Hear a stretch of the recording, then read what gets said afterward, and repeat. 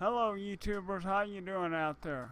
So you want to turn your phone into a camera for, so you can use it on OBS and other things. So let's get started right now. Okay, first of all, let's go to Google Play Store. And what I want you to look for is uh, the IP camera. And once you find it, right there, uh, go ahead and open it up, IP webcam, and download it. After you download it, then we'll get started. So let's open it up on your phone. First thing to do is go over here where it says video preferences.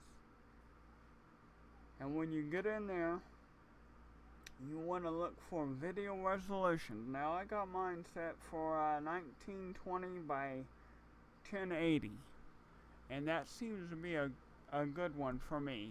Try it out on your phone, get whatever you want. Now that's the only thing you have to change. Now let's go back to the main menu, go all the way down to the bottom, and see where it says Start Server? That's Start Server. As you can tell, boom, there I am. Oh, there's my son. Now, what's really neat about this, what's really neat about this is that IP address on the bottom there, uh, take it and put it into a browser, whatever browser you have.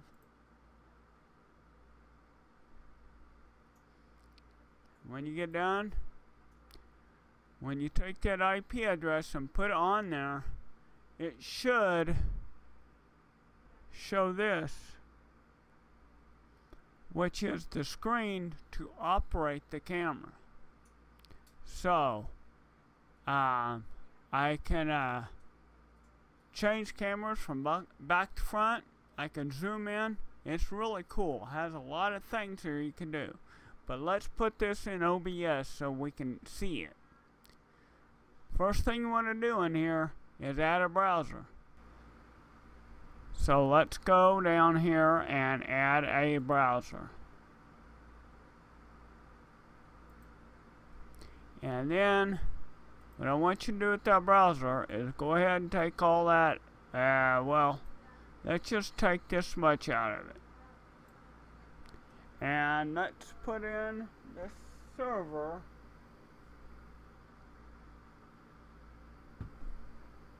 that's on the bottom of the camera.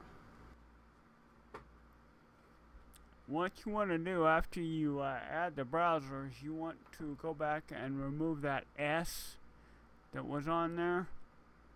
Now, we should have it. And there we go. There is the new camera. Now, it's on the back. Um, it's on the back camera. Remember to subscribe to my channel down below. We'll talk to you later. Hope this was a good one for you. Smash that subscribe button.